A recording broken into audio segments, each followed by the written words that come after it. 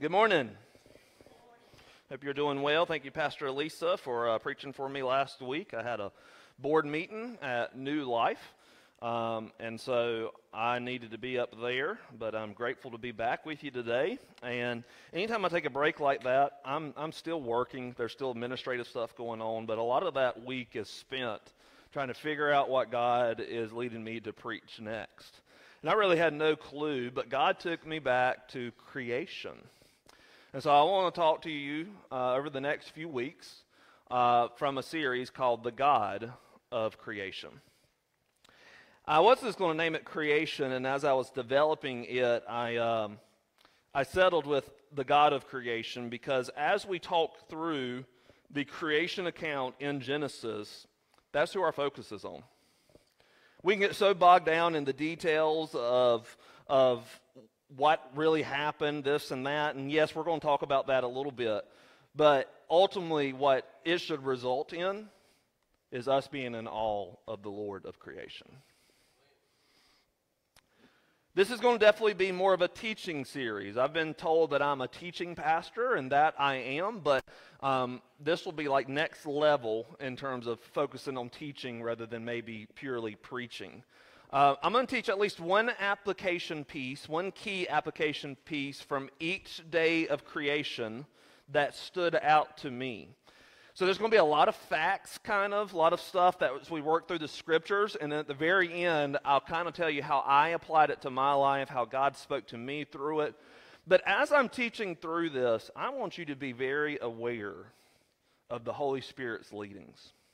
We're going to take verses 1 through uh, 5 today and just break it down point by point by point by point. And there might be something that God speaks to you that stands out to you for the situation you find yourself in. And I encourage you to be open to the guidance of the Holy Spirit and to dive into that. As you know, the um, beginning or however life was created is often debated in our world today, and it is even debated in the church.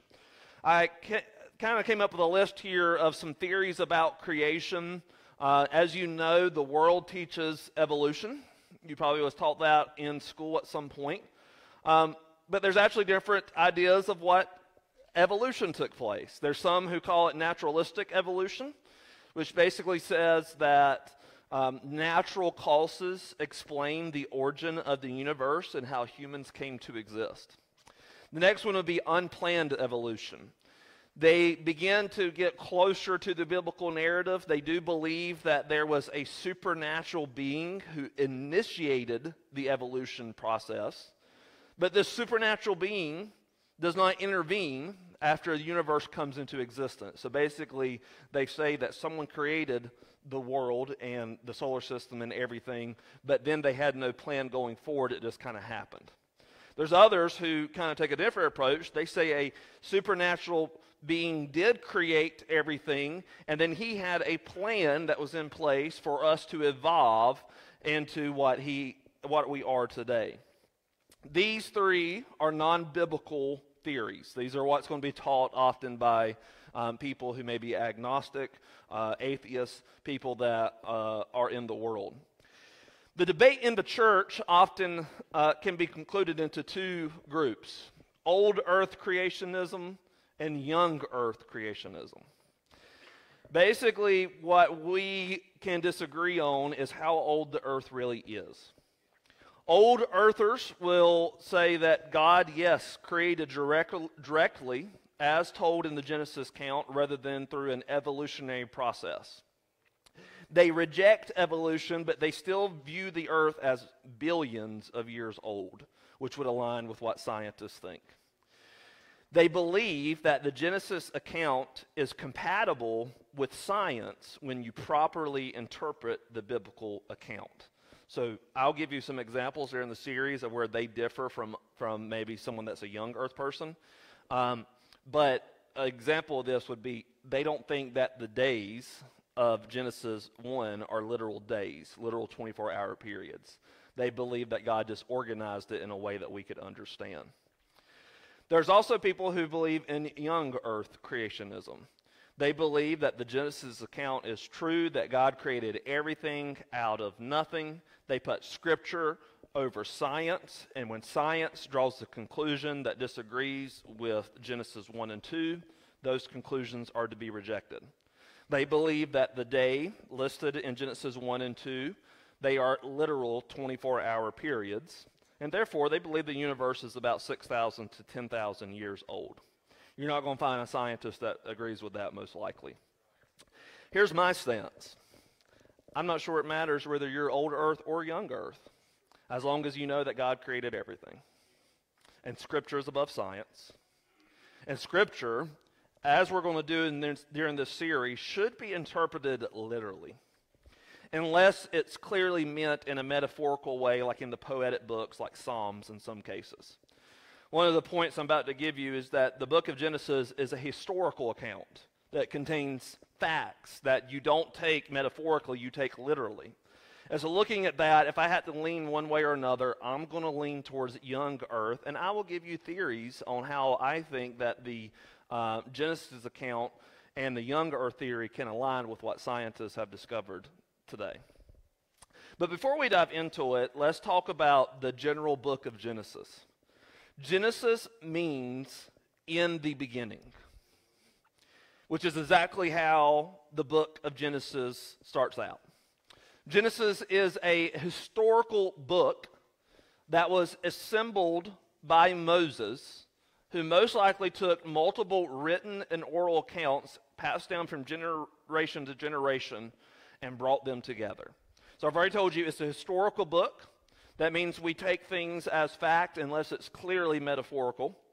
It was assembled by Moses, which obviously was a long time after creation, was when Moses was alive. So, what he has done is he's basically served as the editor. He is taking multiple accounts, multiple written accounts, multiple oral accounts that have been passed down from generation to generation, and have brought them together to put them into the book of Genesis. This leads into an interesting thought as we dive into the creation account. Moses was obviously not there at creation. Adam was not there at creation until later. So, how did Moses get this information? A few theories that I have. Maybe God told him directly because Moses did spend a lot of time with God directly. Or what if God told Adam? Because Adam spent a bunch of time with God in the Garden of Eden. What if he told Adam? Adam told his kids, who told their kids, who told their kids, who told their kids, and eventually it led to telling Moses who wrote it down. I don't really know, but I know that the source is God. And that leads into the last point. Genesis, as is the rest of the Bible, is inspired by God and therefore true. We are going to value the Bible and what the Bible says over science.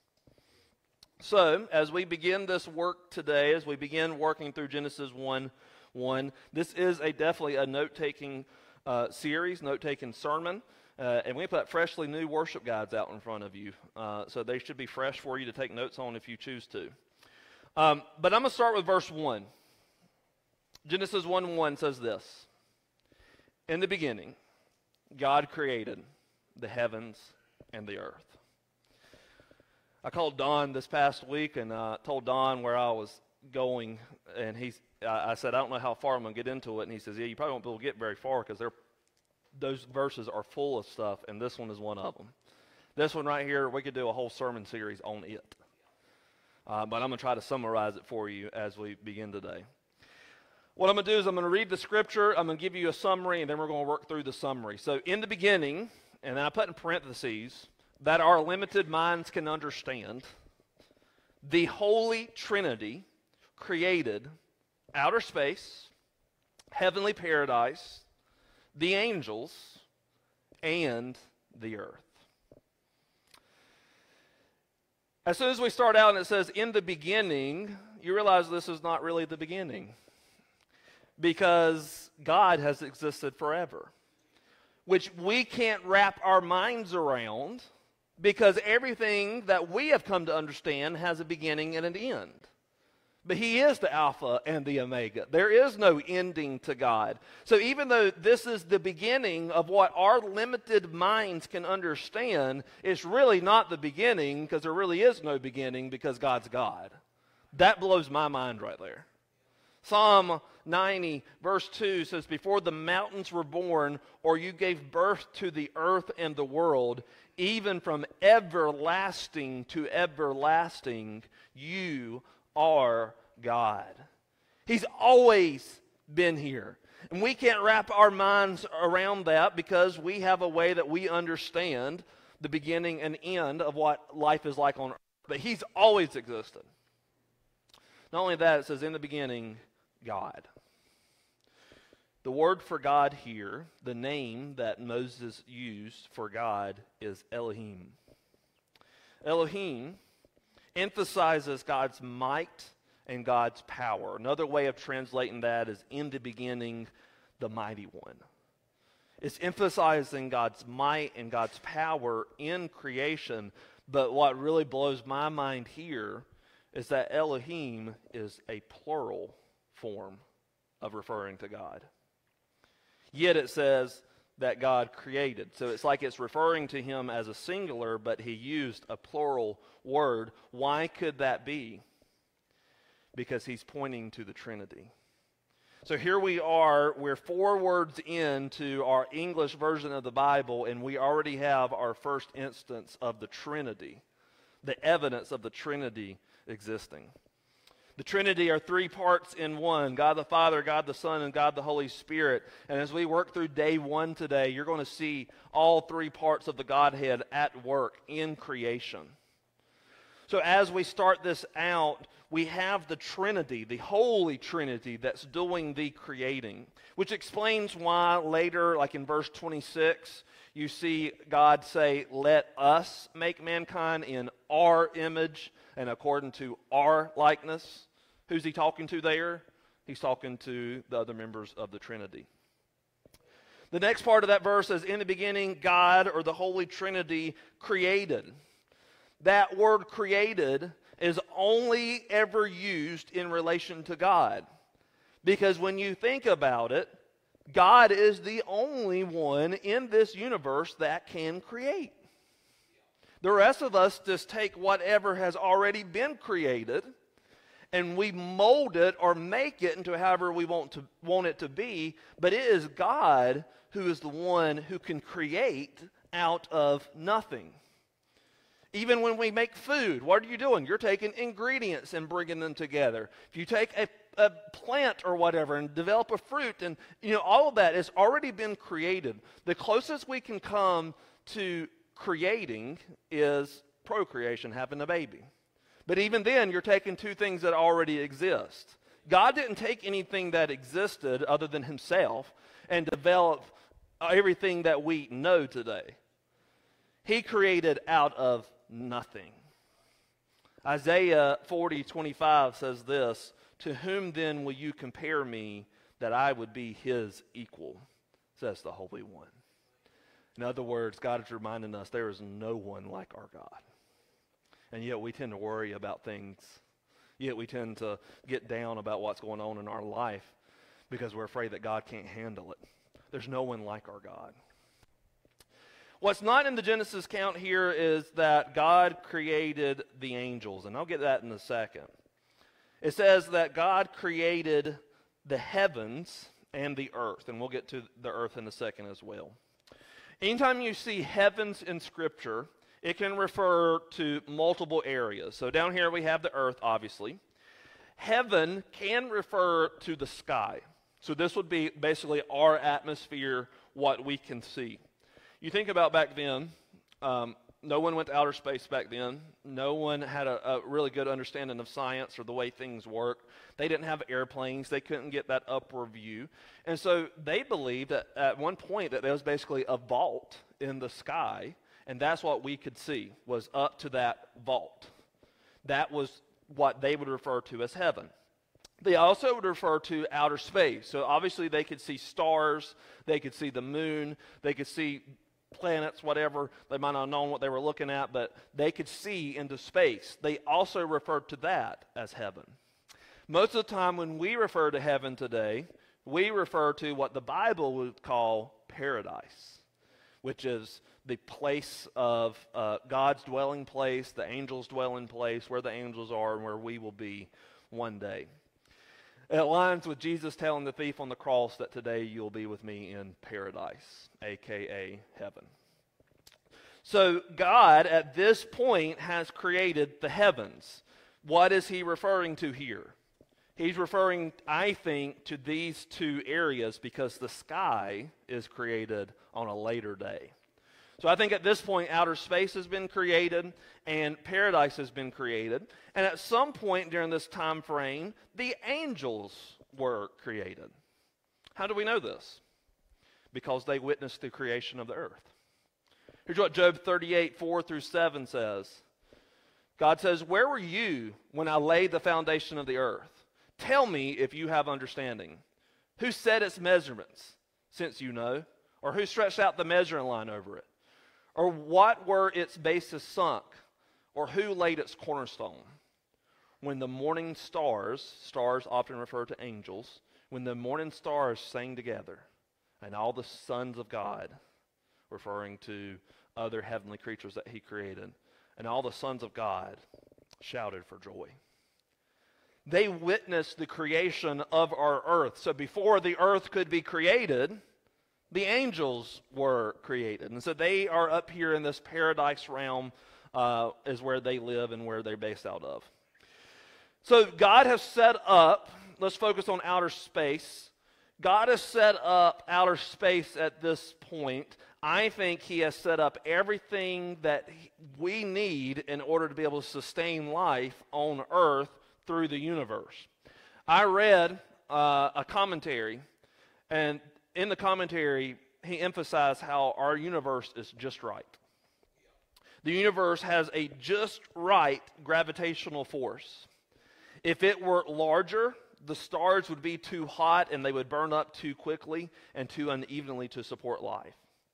If it were smaller, though, it wouldn't keep that heat close, and so the stars would remain cool, nuclear fission would never ignite, and there would be no heat and light. The universe has a just right speed of light.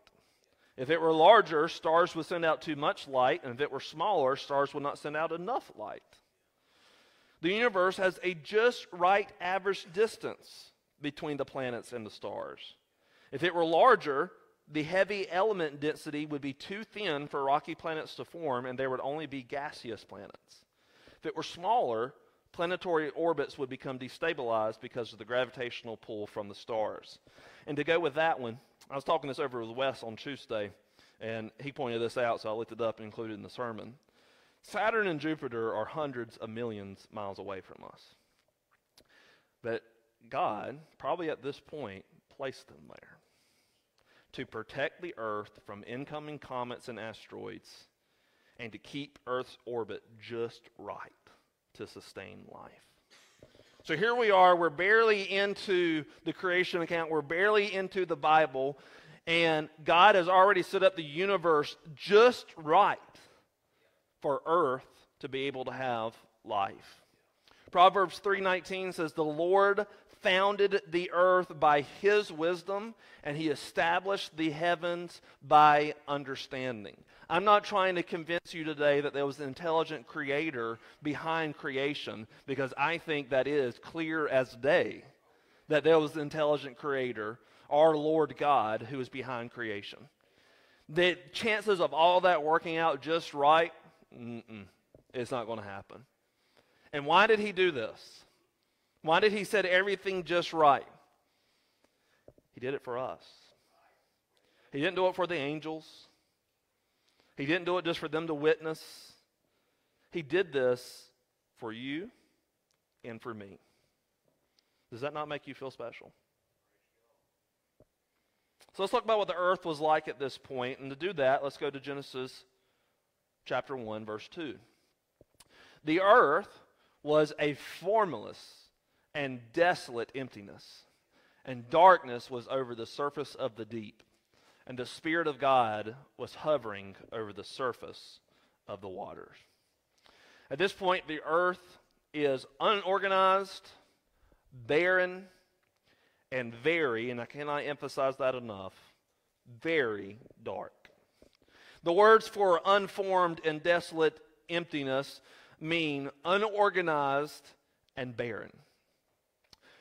So at this point, God has created all the raw material needed to sustain life, but it is unorganized. As is, there is no division between land and sea. It is barren. There are no trees. There are no animals. It's just a whole bunch of nothing, yet it's a whole bunch of something that's pretty amazing at this point. It's barren. It's empty. It's basically like everything is there for the potential for life, but life and organization hasn't taken place yet. And so I began to just imagine what this looked like.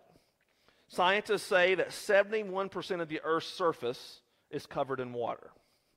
So this would have been a whole bunch of water. But there is no divide between land and sea, so the water's not spread horizontally. There's also no sky and land and sea. So the water is even up and down, unorganized vertically. So, what I imagine, we know how deep our oceans are. It's very deep. I imagine all that water being spread out both wide and deep, basically going back up to the sky, because it's not been separated yet, going up to outer space, just a whole bunch of water. Right now, Earth doesn't really look like much. It's not necessarily chaotic, but it does lack form or any type of substance. We're here in the pottery capital of North Carolina slash the world. At this point, the earth would look like a lump of pottery clay that has no form, no pretty features on it. It doesn't look like it's much, but it is useful. It can be used to make something beautiful. There is no light at this point, so it is very dark, like the deepest dark that can exist. Nothing that we have experienced here on earth can even compare and because it's dark, what does the light do? It provides warmth. So this is a cold, a dark, a wet planet at this point. Bunch of nothing. Yet we see in the second part of verse 2 the Spirit of God was hovering over the surface of the waters. Out of the whole passage that we're doing today, this part means the most to me. Because here's a whole bunch of nothing darkness, cold, damp. And doesn't it feel that way sometimes in our life? And yet the Spirit of God is hovering over the surface of the waters. The Spirit of God who can give life, who can give light, is there, is present, is about to do his work. We just sang this. Even when we don't see it, he's working the word for hover there indicates, wants us to think about a bird. So the Spirit of God hovers over the newborn planet, just as a mother bird hovers over their newborn babies. Have you ever seen that take place? I got a video here if it works of a, of a bird uh, hovering over its nest. See how it hovers looking at the, the babies in the nest? They do that for a few reasons. They can do that to protect their young. Uh, I've seen them do it to feed their young. Um, they can do that as a way of sometimes just maybe checking and admiring what they have created. At this point, this is what the Spirit of God is doing.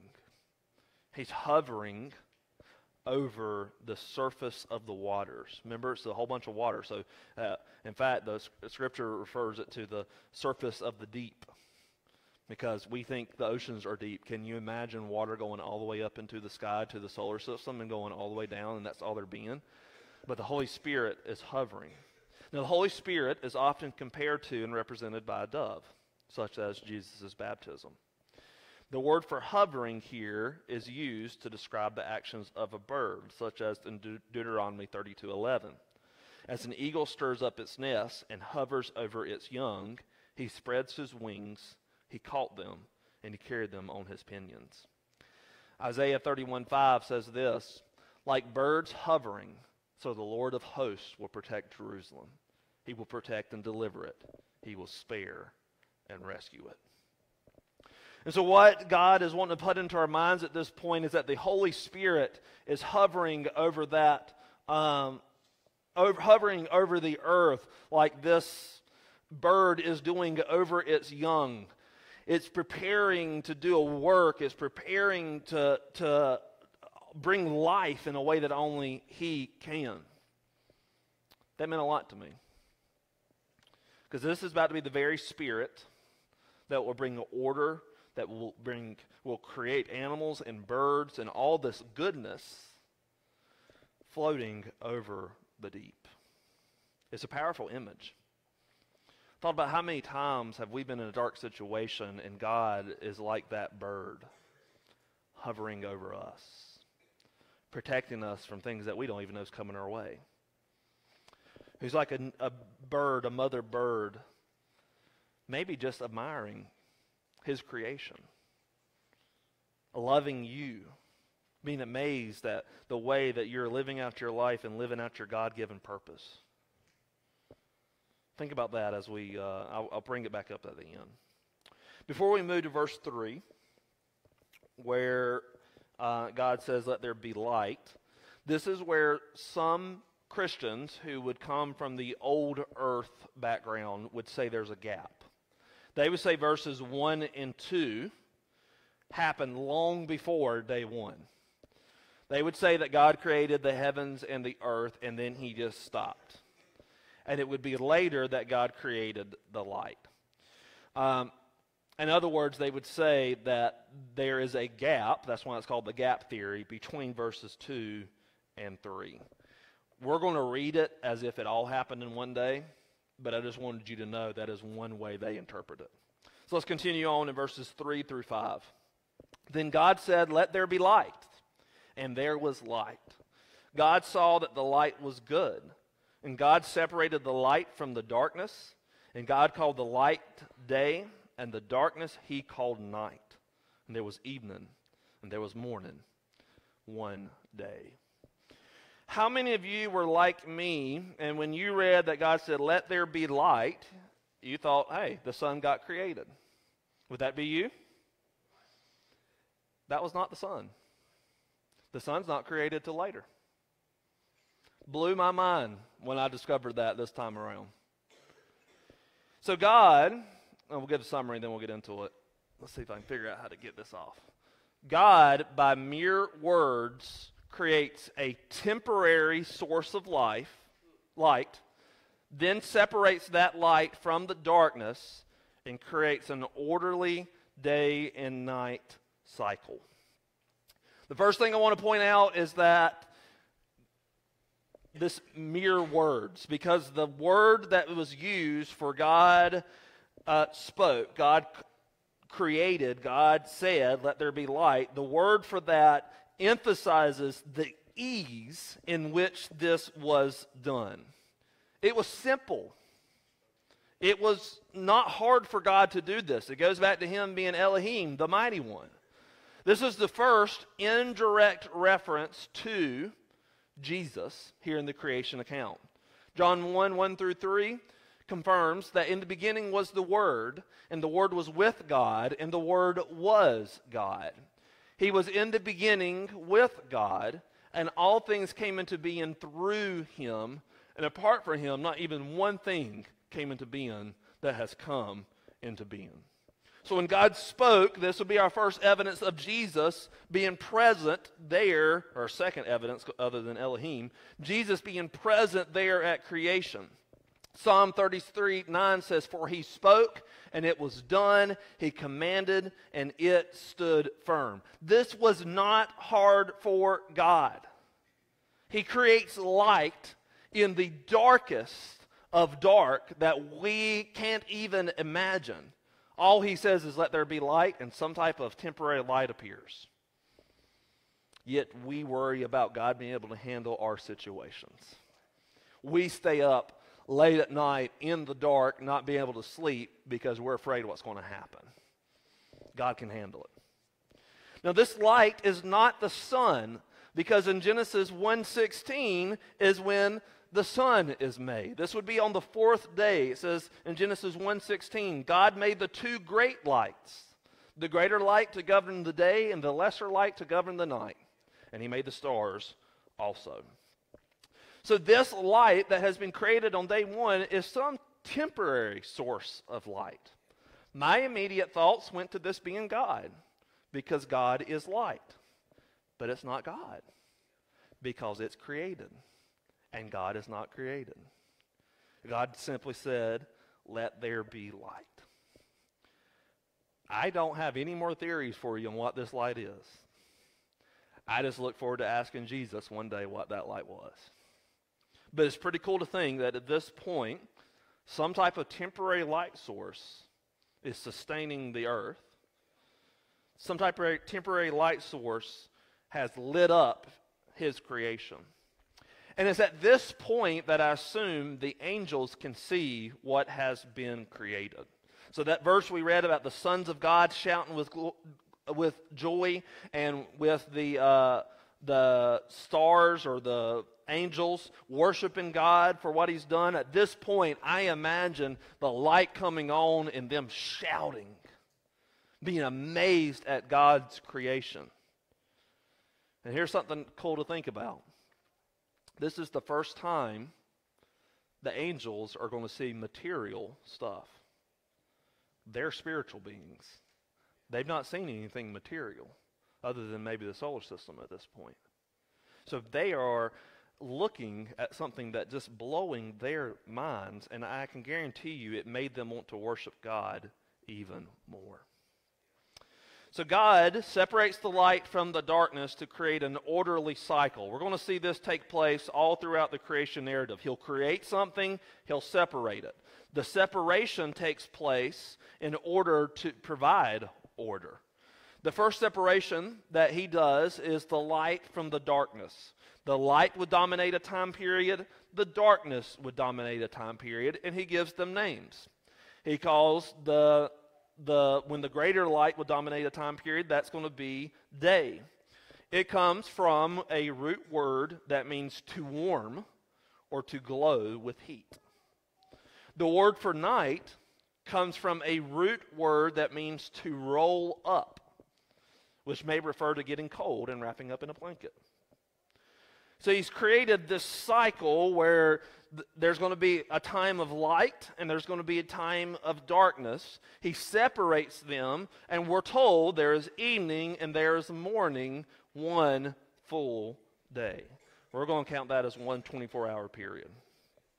So at this point, the earth may be already rotating on its axis if that light point is stationary.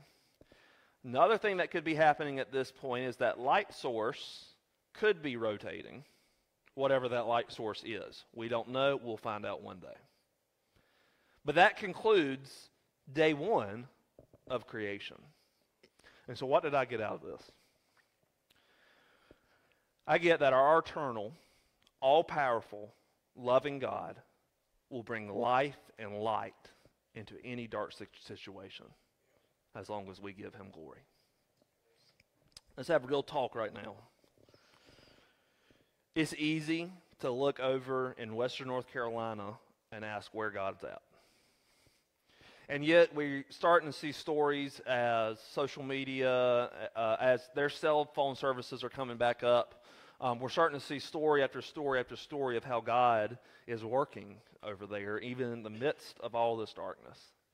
I saw one church Today, all they requested was for a generator because they want to have church this morning. I've seen people that, um, I, I think I heard this one woman says that she felt like God told her to let go. And she did and went down the river and she ended up running right into rescuers or something. God's at work there, even though it seems dark, even though it seems hopeless. It's been really cool to see the way that, I mean, our stores here are sold out of water toilet paper, supplies, because everybody is sending it over there. That's great. That's God shining in the darkness. I don't know about your experiencing in your life today, but I know some of you are going through some tough times. I know that it may seem dark. I know that it may seem hopeless. I know that it may seem lifeless. I know that it may seem like It's barren and empty, just as our world was. But that doesn't mean God isn't God. And that doesn't mean God isn't at work.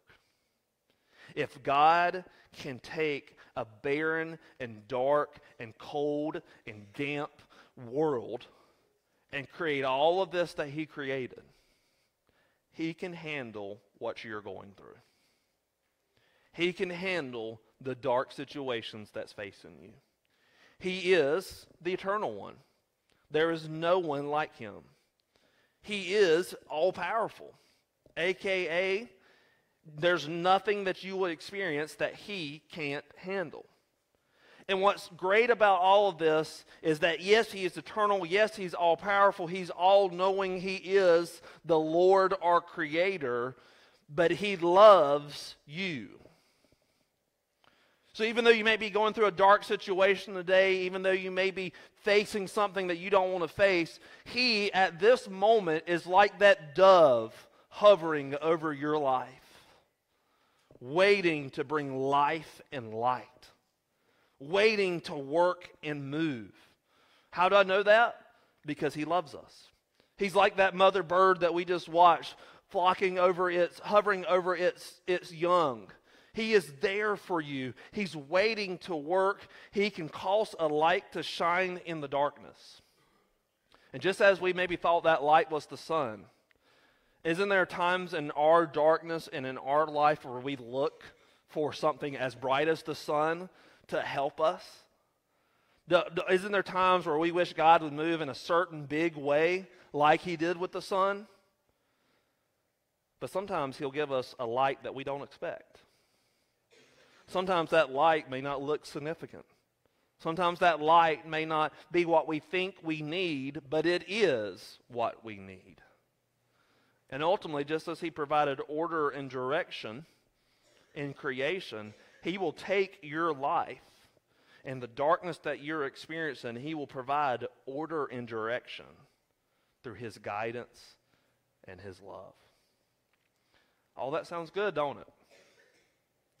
This is only true for those who love him and who are called according to his purpose. Here's what Romans 8:28 says, and we know that in all things that God works er, all things around for the good of those who love him and have been called according to his purpose. The condition there is that those who love God. The condition there is those who have been called according to his purpose. As long as we keep the faith, as long as we keep worshiping God, as long as we keep giving Him the glory that He deserves, as long as we keep loving Him, He will work it around for the good, no matter how dark it seems no matter how barren it seems, no matter how hopeless it seems, He can take it and He can handle it and He can work it around for the good. And a good reminder of that is every time you look outside and you see a pretty flower, we're getting ready to see the leaves change and all the pretty leaves as you drive down in the, in the area. You look up into the sky, you see the solar system, you see all of this. If God can create all of that, He can handle what you're going through. Psalm 19:1 reminds us that the heavens tell of the glory of God, and their expanse declares the work of his hands. Colossians 1:16 Paul tells us this. For by him all things were created, both in the heaven and on earth, visible and invisible, whether the thrones or dominions or rulers or authority. All things have been created through him and for him. All things that have been created point to the glory of our Creator. And so, as I invite the worship team to come up, we're going to sing a couple songs, um, a kind of a mashup of two songs today. And they both emphasize the greatness of our God. I hope that you learn from day one and you're in awe of our Creator. I was. I am. And when you feel that awe, when you're amazed at what God has done, the only appropriate reaction is to give him glory. And so, no matter what you're going through today, no matter how dark or barren or whatever Satan has made you feel like your life is, or your situation is, or your family is, or your work is, guess what? He still deserves the glory through it all. So I'm going to invite you to stand to your feet and we're going to pray.